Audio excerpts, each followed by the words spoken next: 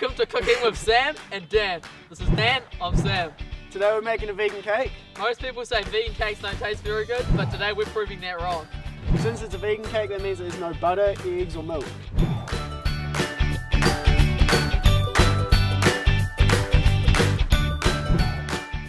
We're adding the water and the cocoa powder together to create the chocolate syrup.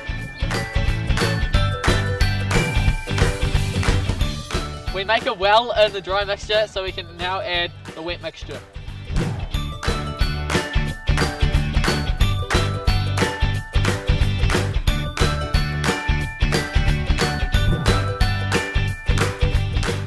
Now we'll go put it in the oven. Hello, can I please see the manager? Of course you can. You can just knock on his door.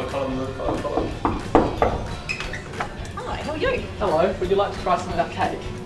Sure. Who's cooked it? We have? Yeah? Yep.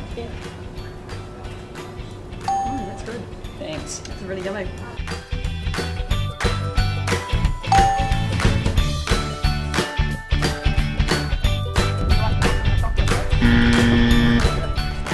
Nice chocolate oh, cake. I'd love to, thank you. Would you like a serviette with that?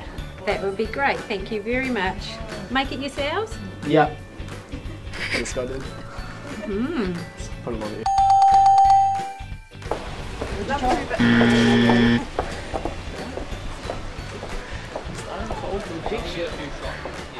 made it?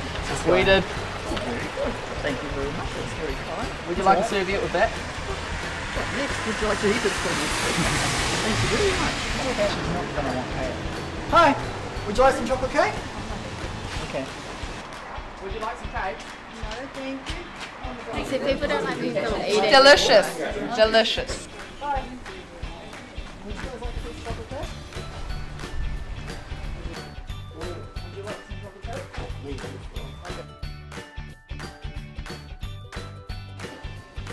Okay.